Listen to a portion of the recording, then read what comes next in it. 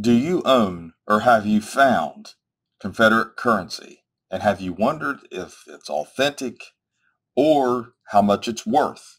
Also, is there any moral issues with collecting or owning Confederate currency? Well, we're going to talk about that in this video. And what I have here on the right hand side is a 50 cent 1863 Confederate fractional currency. Now this note looks to be pretty close to uncirculated. I don't see any major folds or tears or holes or anything like that. And I like this one here, you know, 35 to $40 is the potential value. The, the back is blank on this one. Now, moving on to authentic or not, there I have a lot of uh, fakes here. And what should be noted, and we'll take one of them out. So we have let's see, $100 here, and we'll just jump to the back maybe a little bit and take a look, and we'll take one of these out and be very careful with it. The one thing about Confederate currency is it's very thin, okay? So you, you can tear it easily, and you, you want to be very, very careful with that. And when you're looking at the fake currency, can you hear the paper? See the paper? See the difference? This has been treated so that it's older. Look at the signatures they're printed. So somebody printed this. That's how you know. You see how the signature is here? And it's kind of brown. Well, it had iron in it, so it would actually rust a little bit. And that's why it would turn brown. The black signatures would turn brown. Then you can see some bleeding and things like that through the paper. So you know that's an authentic signature. It's probably going to be an authentic note. It has some ink up here as well for the number. And like I said, it, it's a period paper doesn't have the chemicals and things like that that something like this would have. So this hundred dollar note here is a very nice note. It uh, doesn't have any major issues, maybe a little bit of staining on it. So you know you're looking anywhere from a you know 125 dollars and up. Might even be gradable. Who knows? But it has a little bit of a stamp on it. It's anything that you know staining and things like that that kind of holds it back a little bit. Typically, when you're looking at your Confederate currency, you are more or less looking at uh, a little above face. If it's really damaged, you're looking at uh, below face possibly. And some of it's worth a lot more. It just depends. There are some rarer notes, but a lot of these were uh, printed and a lot of numbers. There's a lot of them out there. Uh, I'll, I'll show you a few more of the fakes that we'll look at. Some of these I've never owned as authentic notes. You know, never have had them in the shop. They're just, they're pretty rare, and they usually do that with the rare ones. Now see, this one here is the thin paper. It's the paper you would expect almost, almost, but yet you can tell that the signature is printed. So it's not a real signature, so it can't be real. Then you'll have some that are shrunk down, almost like Monopoly money. And they're, they're not authentic either. They're prints as well. And here's a few more of them. You can buy these at Civil War sites. You know, so obviously some people might have you know, an apprehension about collecting these or even owning these or handling these. And all I'm going to say is, is this, and not to get political or anything like that, but you know, it's hard to separate some of the facts and the history from these notes. But it was more not so much of a moral thing about slavery, but the economics. You know, the South wanted to expand, and, and I'm putting this in a nutshell because I'm not trying to get into this, but it was more about that, the control. You know, and obviously when uh, Abraham Lincoln was elected, no electoral colleges from the South, I mean, elected him. And that showed them that basically the president can get in there that's against the way they're doing things. And that would actually, they, had, they lost their voice basically is what happened at that point. So it just leads one thing to another. But, you know, being history, you know, and, and this is a preservation of the history. And these are the fake ones, obviously. But yes, they are a preservation of history and should be looked at as history and as a collectible item, just like anything else.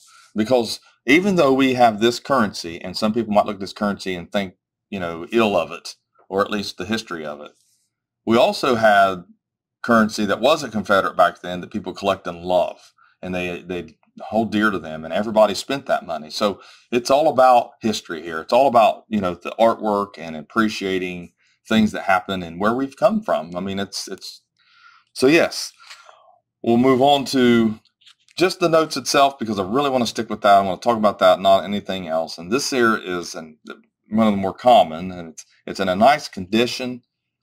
And we're looking at a 1864 from Richmond, Virginia. Most of them are from Richmond, Virginia. Here's the reverse. And, you know, a note like this can be anywhere from, you know, $25 and up. And that's what you're looking at for a lot of these. And here's one that has a little different, uh, you know, it's pink. It's 1862. It hasn't been cut exactly correct, but you'll see that a lot too. You'll see uh, where the cuts go into the other parts of the sheets. They were made cheaply. The, the South didn't have a whole lot of money, the war effort and things like that um, accounts for that.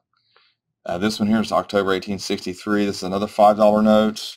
And like I said, if you want to know how much notes like these go for, it is best to go over to eBay and look up, you know, Confederate note, put the date in, and try to find one that matches in, in this condition. These are really good condition notes. So, you know, these are in the $40, $50 range.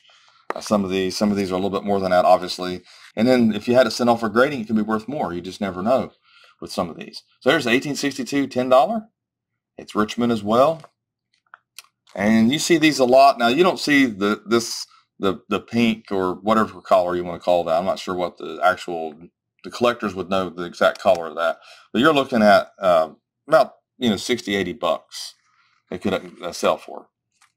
And here's the normal ten dollar you see a lot. I mean, probably in the thirty, you know, five dollar range on this one here. It's just like I said, it's going to have a lot to do with condition. And here's the reverse, basically about the same. Because this is just really mainly about collecting these and the values and making sure they're authentic. And like I said, you can see the signatures on these. Not all of them turn brown. They'll have a little brown to them. But you want to look for the bleed out. You want to look for the, like, like I said, you know, how the ink soaks into the paper. You want to look for, see if it's period paper. Uh, this is a $10 uh, 1864. And like I said, you know, in this condition, these notes can go for a little more than the 40 and $50. Most of them, like I said before, 25 bucks to $35. And then when you get up to the larger denominations like 20 and, and 50, then it starts increasing. This one's a little better of a note, 1861, Confederate States of America. This is really a, a kind of a cool note to design. They do look a little cheap made. I always think that because I compare it to uh, the you know silver certificates we have, the 1899, the Chief, and the Buffalo, and, the Bison. All those notes that look really good compared to these. The educational notes and the wood chopper just executed better. This one's probably worth a hundred dollars plus on this one here. It's been a decent note there. Then here's some a little more common of a $20 note. You'll see these for sale from $25 and up. This one's in good condition. Richmond, Virginia here. That's pretty common. You see these a lot. That's the one you see the most often in the 20s, 5s. Here's another one you see pretty often too. It's 1864, worth about the same value. Like I said, the condition's always going to be different. The condition changes everything on these.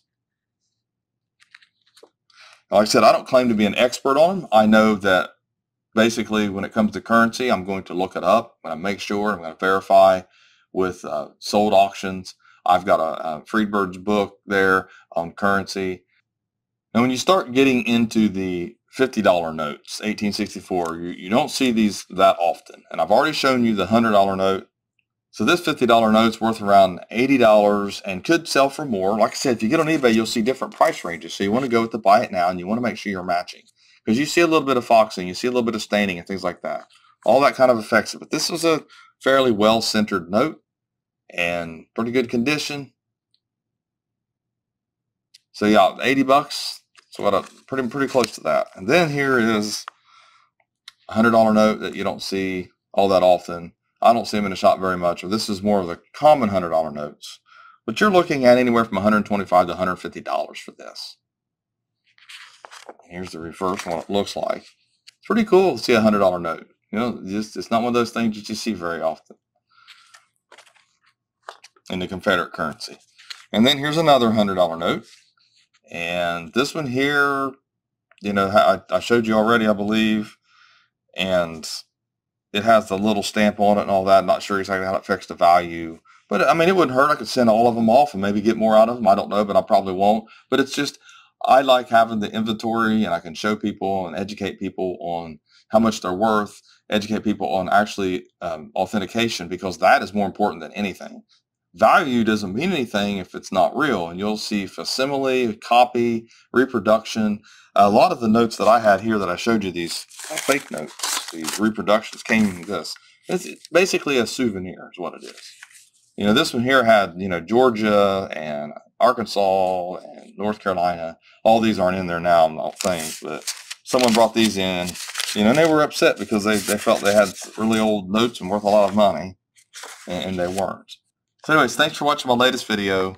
Please like, share, and comment, and have a great day.